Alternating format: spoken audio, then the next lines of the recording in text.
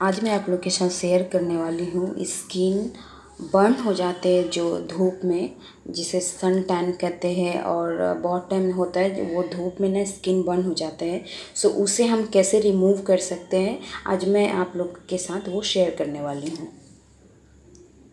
सो so, सबसे पहले मैंने यहाँ पे बेसन ले लिया है और ये है बीट रूट सो so, मैं इस बीट रूट को ग्रेट करके इसका जूस निकाल लूँगी। सो so, मैंने इसका जूस निकाल लिया है।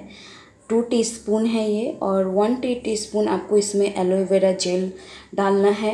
जो बेसन था उसको टू टीस्पून बेसन डालना है। उसके बाद मैंने इसे मिक्स कर दिया, इसे टेन मिनट्स के लिए छोड़ दिया है। उसके बाद मैंने यहाँ पे अपना फेस को वॉश कर लिया है। वॉश करने के बाद मैं इसे अच्छे तरीके से पूरे फेस पे अप्लाई कर लूँगी।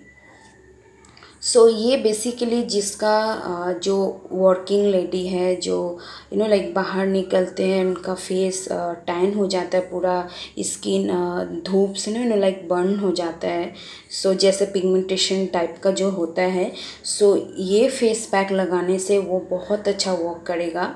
और इसे आपको वीक में आप वीकली दो बार लगा सकते हो। सो जो भी टैन होगा, वो जल्दी रिमूव हो जाएगा। और इसे आपको पूरे अच्छे तरीके से फेस पे लगाने हैं।